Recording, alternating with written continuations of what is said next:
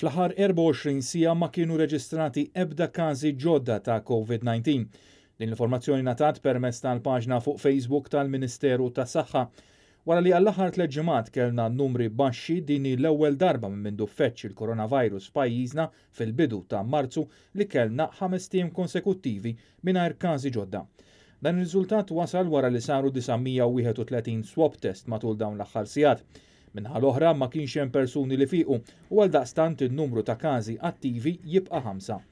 In-numru totali ta' każi pożittivi baqa' 674 mis-seba' ta' Marzu sa issa. Minn dawn kien hemm 660 li fiequ mill-virus u disa' persuni li sfortunatament tilfu ħajjithom. B'kollox saru aktar minn 108,500 swab test f'dawn l-aħħar ħames xhur. Intant, l-Erbgħa l-ajruport internazzjonali mistenni jiftaħ għal 28 destinazzjoni oħra wara li ġimagħtejn ilu infetaħ parzjalment għal numru limitat ta' destinazzjonijiet. Anki l-portijiet jinsabu mill-ġdid miftuħa għall-passiġġieri. Filwaqt li l-vjaġġi bil-katamaran baqgħu għaddejjin bil-merkanzija biss, mill-bidu ta' dan ix-xahar il-vjaġġi bejn Malta u Sqallija kienu miftuħin ukoll għall-passiġġieri. Sa issa għadhom ma daħlux cruise liners minn mindu faqqgħet il-pandemija f'pajjiżna.